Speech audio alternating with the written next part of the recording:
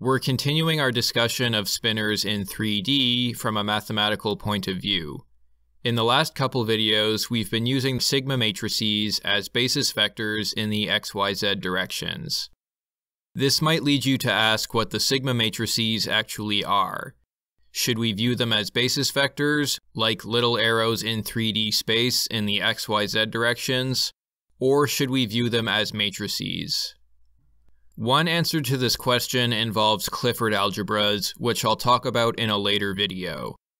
In this video, I'm going to try explaining the relationship between vectors and Pauli spinors by showing that the sigma matrices form a link between ordinary 3D space and a pair of two-dimensional spinor spaces.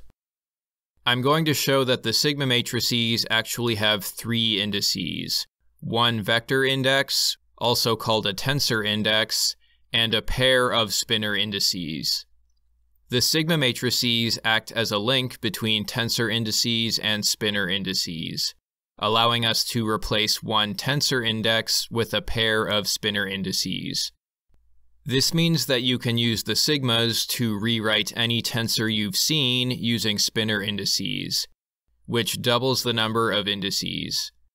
This is related to the concept of the Infeld-van der Waerden symbols. Although the Infeld-van der Waerden symbols are only used for space-time, and I will cover them more fully in the next video. To help explain this, we'll see that a Pauli vector can be written as the tensor product of a spinor and a dual spinor. Explaining all of this will require some basic understanding of tensor concepts as a prerequisite like the tensor product and dual vectors, also called covectors.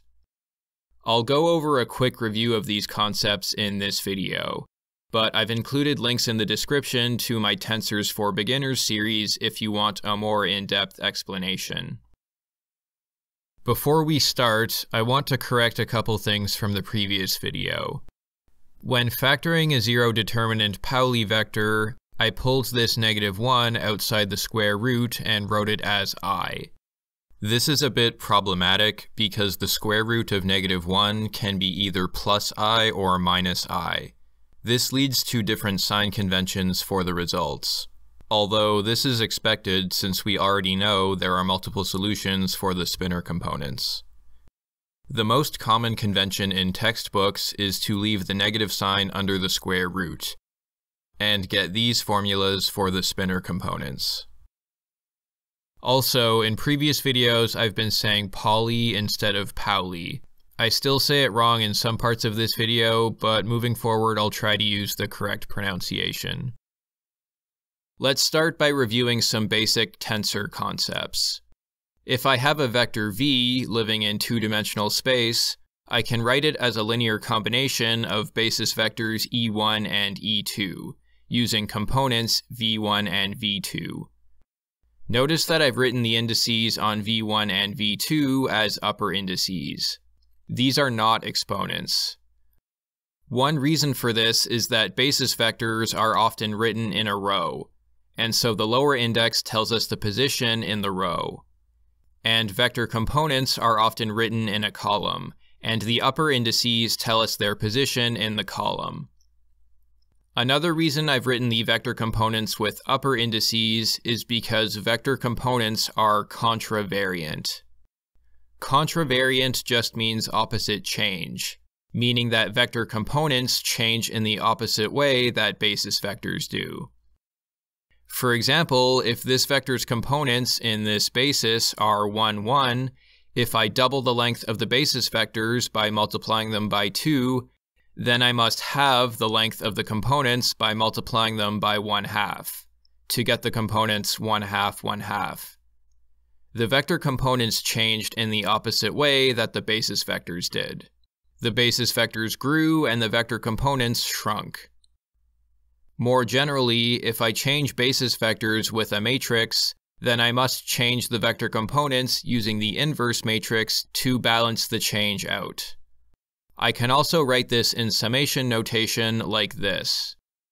Some sources also choose to write these summation formulas without including summation symbols. You can tell a summation is happening whenever an upper index letter is matched with a lower index letter. This is called Einstein summation notation. Next, I'll introduce dual vectors, which go by many other names, including covectors and one forms. The bra vectors from quantum mechanics are just another name for dual vectors. Ordinary vectors are like arrows, and are good for representing objects with a length and a direction, such as velocity. Dual vectors are like oriented stacks, and are good for representing objects with a density and a direction, such as a traveling wave.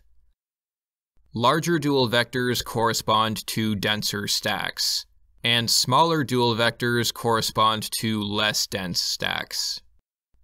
A dual vector is a machine that takes a vector and outputs a scalar, just by counting the number of stack sheets that are pierced by the vector, which is 3 in this example. This idea of counting the number of stack sheets that a vector pierces gives these two linearity laws for dual vectors acting on vectors. The components of a dual vector alpha are given by counting how many stack sheets are pierced by the basis vectors. Here, the components of alpha are 3 and 2. As I said, vector components normally go in columns, with the upper index indicating their position in the column.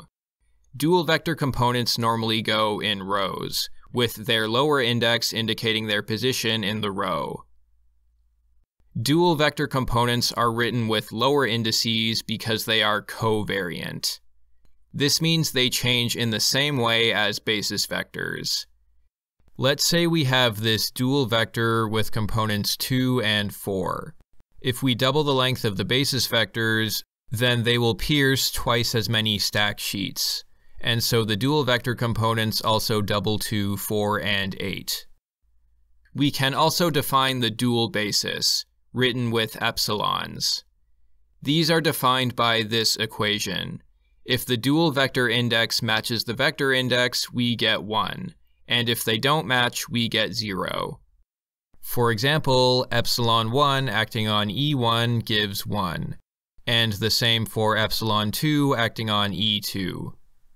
And if the indices don't match, we get 0. So epsilon 1 acting on E2 gives 0, and same with epsilon 2 acting on E1.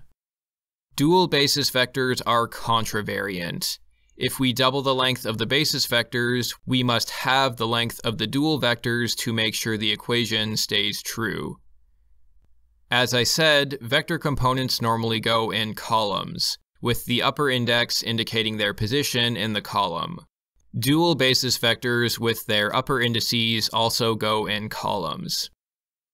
When we have vectors living in a vector space V, we say that the dual vectors live in the corresponding dual vector space. This is often denoted by V star in many books, but I'm just going to write the dual space as V dual. We can do row-column multiplications to get the scalar result of a covector acting on a vector. This is normally called the inner product. But we can also do column row multiplications to give us a 2 by 2 matrix, which functions as a linear map. This is normally called the outer product. This outer product array multiplication can also be written abstractly with symbols using this tensor product symbol. If we multiply this array product by a scalar, we can distribute the scalar to either the column or the row. The tensor product also obeys this rule, where we can distribute the scalar either to the left entry or to the right entry. Also, if we have a column multiplied over a sum of rows, we can distribute over the rows. Similarly, if we have a sum of columns multiplied by a row, we can distribute the row over the columns. The tensor product follows similar rules, where if we have a sum on the right side, we can distribute over it. The same goes for distributing over a sum on the left side of the tensor product. Some matrices like this one can be written as the product of a single column times a single row. Or in abstract notation, the tensor product of a single vector and a single dual vector. However, other matrices like this one, whose determinants are non-zero, cannot be written as a single column times a single row. Instead, we break these apart into a sum of matrices, one for each component. Bringing the scaling factors outside, each of these matrices now has a determinant of zero.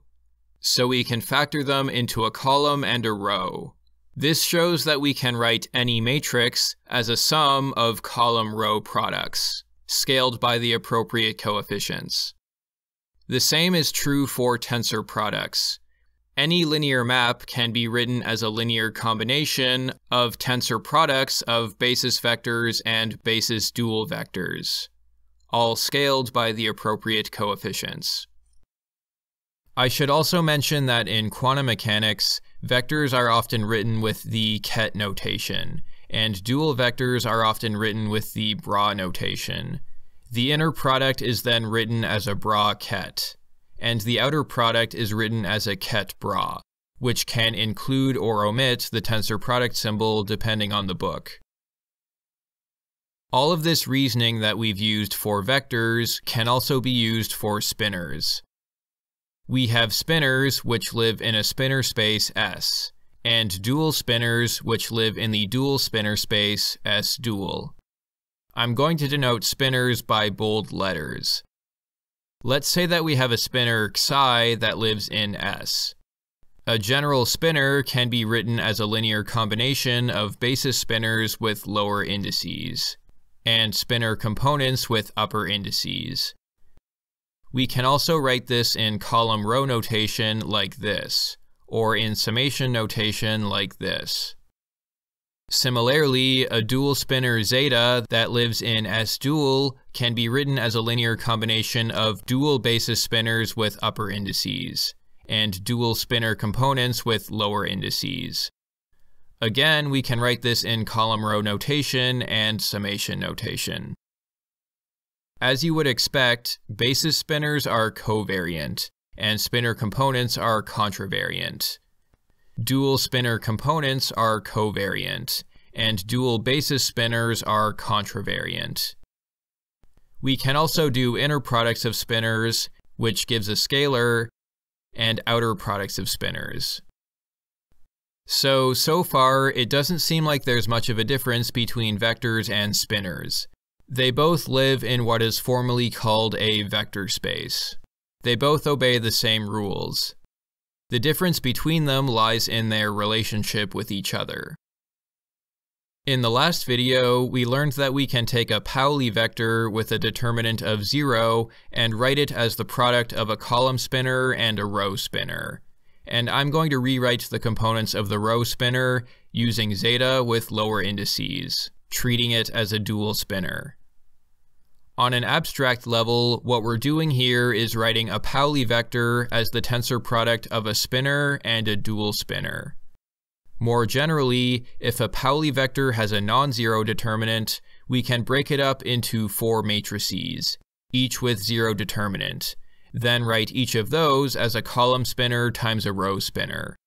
More abstractly, we write this as a sum of tensor products between basis spinors and dual basis spinors, like this. We can also write these outer products in bra-ket notation if we want. Looking at the V components, the upper index specifies the position in the left column, or which row in the matrix. And the lower index specifies the position in the right row, or which column of the matrix. Each of the sigma matrices can be written this way as well. For example, we can write sigma x as a linear combination of matrices broken into column-row products. More abstractly, this is a linear combination of tensor products of spinors and dual spinors. The same can be done for sigma y and sigma z. Looking at these three formulas, we have 12 coefficients that tell us how to sum all these tensor products together. So now let's answer the question, what actually are the sigmas? Well, sigma is actually a linear map from the ordinary 3D vector space V to the four-dimensional space of spinor dual spinor pairs, which is S tensor S dual.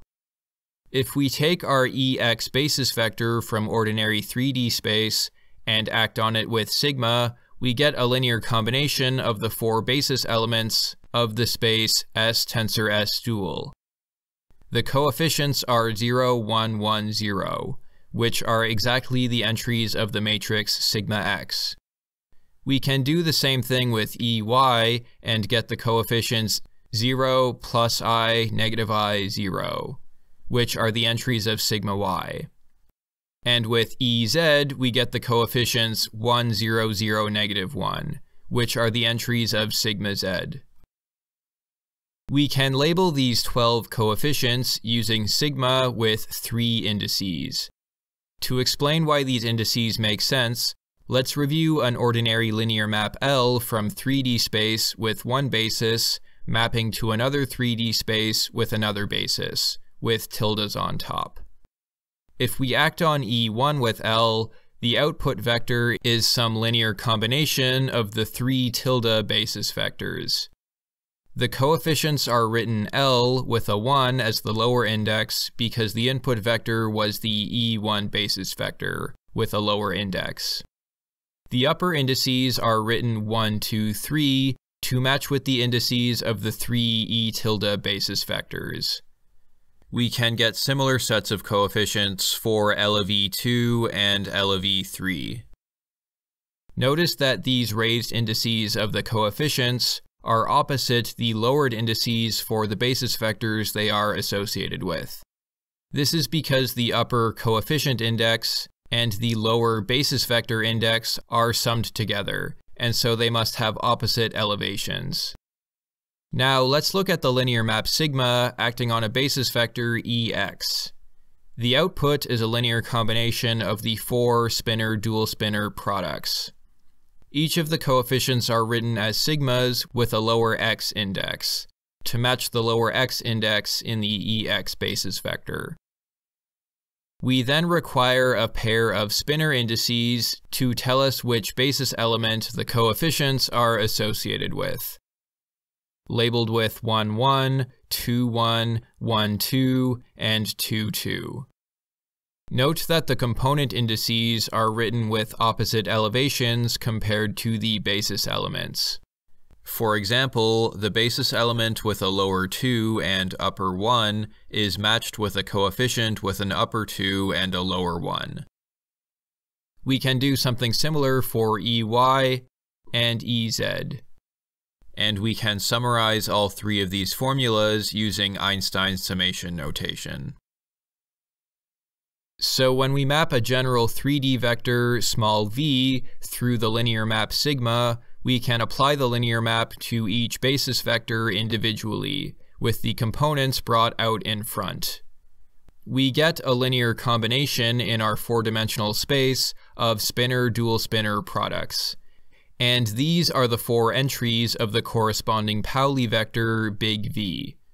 We can also write this as an array multiplication or as this summation.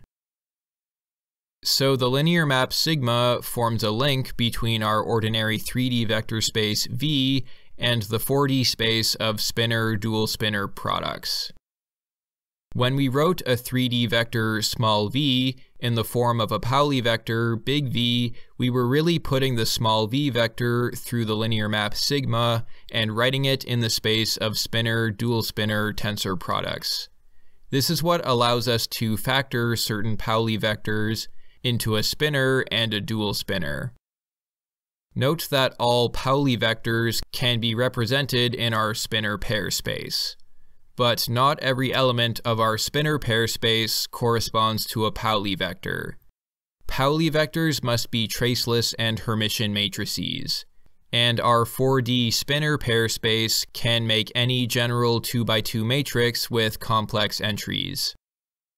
Also note that this map turns a single vector index into two spinor indices. So in some sense, one vector index is worth two spinor indices. We can apply this sigma map to any tensor T that we like, and replace every tensor index with a pair of spinor indices.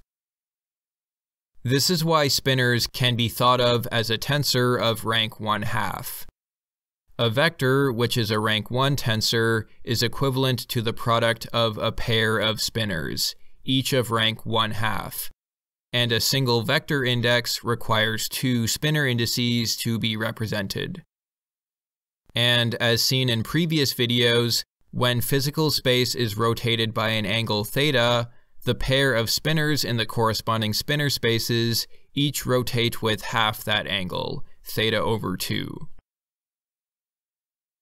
The last thing I'll mention is that just as it's possible to change basis in our ordinary 3D vector space V, it's also possible to change basis in our spinor space S. For example, we can double the length of our S1 basis spinor.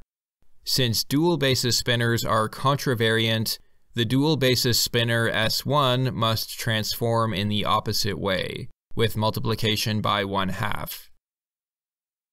So our change of basis equations for spinors and dual spinors are here, and we can rearrange these so that the tilde basis is on the right side of the equal sign. If we take a generic element of our spinor pair space, written in the original basis, we can change to the tilde basis by applying these equations one by one to each term in the sum. The 1 1 term gets a factor of 1 half and 2 that cancel. The 2 1 term gets a factor of 2. The 1 2 term gets a factor of 1 half. And the 2 2 term gets no additional factor. This gives the same object, but written in the tilde basis instead. You can see here that there are some extra numerical factors in front of some components. We can also write the new components as v tilde. So both of these formulas are just different ways of writing the same output from the sigma map.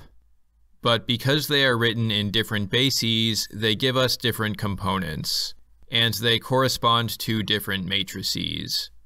Again, the components in the new basis can be written with v tilde. In this new spinor basis, the components of the sigma matrices would now contain these factors, meaning the sigma matrices would now look like this. Now, we won't be changing spinor basis very often in this video series, but just keep in mind it's something that can be done, and it will affect the components of the sigma matrices. So to sum up this video, just as vectors live in vector spaces and dual vectors live in dual vector spaces, we have spinors that live in spinor spaces and dual spinors that live in dual spinor spaces. Spinor spaces obey all the rules of linear algebra that would be expected from vector spaces. But there is a special linear map sigma that maps vectors from 3D space into the space of spinor dual spinor tensor products. This is where Pauli vectors and the sigma matrices live. And it explains why we can factor certain Pauli vectors into a spinor and a dual spinor. The linear map sigma has 12 coefficients, and it converts one tensor index into a pair of spinor indices. In the next video, when we cover spinors in four-dimensional spacetime, the equivalent sigma map will be a 4x4 matrix, and its components are called the Infeld van der Waerden symbols.